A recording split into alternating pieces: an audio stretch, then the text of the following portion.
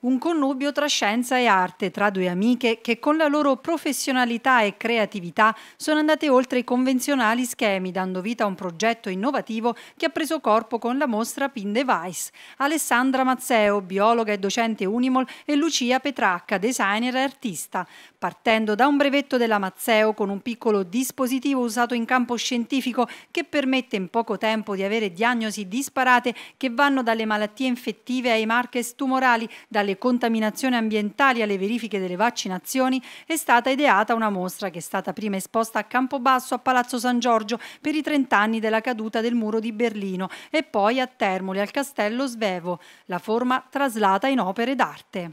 Questo progetto nasce dalla mh, voglia, dall'intenzione di divulgare un brevetto eh, industriale che riguarda una tecnologia diagnostica di cui sono il primo inventore che ha eh, un dispositivo con questa forma. Questa forma eh, naturalmente eh, diventa messaggera di universalità, nel senso che consente di eseguire analisi anche in campo in territori non serviti da strutture sanitarie, quindi fuori dai laboratori e senza personale specializzato. Questo nell'intenzione di, di, rendere universale l'accesso alla diagnosi, perché è un diritto inalienabile dell'uomo. Ovviamente con il connubio con eh, la collaborazione con l'artista e designer Lucia Petracca eh, abbiamo abbiamo utilizzato questa forma innovativa, ovviamente unica al mondo perché è protetta dai titoli di proprietà intellettuale e diritti d'autore, nell'arte e nel design.